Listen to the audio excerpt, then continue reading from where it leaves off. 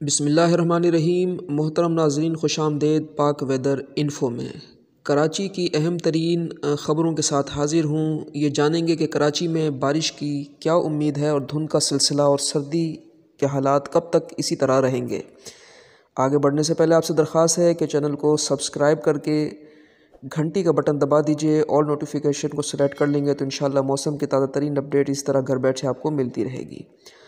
मोहतरम नाजीन शहर कराची में इस वक्त धुंध का सिलसिला जारी है, ख़ासकर शुमाली इलाके, मशरक़ी इलाकों में रात गए तक और सुबह फजर के आसपास काफ़ी शदीद धुंध होती है।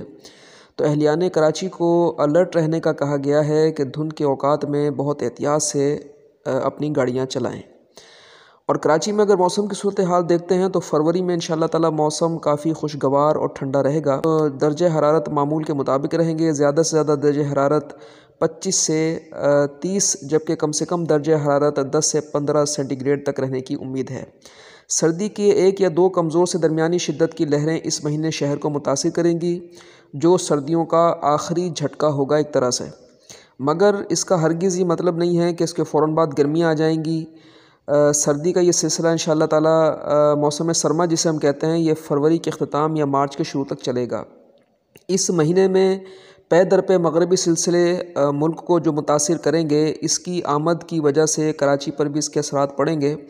बारिशें इस महीने कराची में मामूल के मुताबिक या मामूल से थोड़ी सी ज़्यादा हो सकती हैं।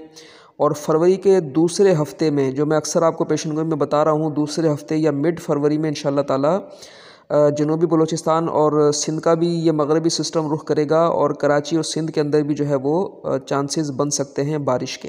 ताहम ये सारी की सारी बातें कबल वक्त हैं। जैसे ही फरवरी आगे बढ़ेगा इन ताला आपको कन्फर्मेशन मौसम की मिलती रहेगी। इसके लिए ज़रूरी है कि आप हमारे चैनल से जुड़ के रहें।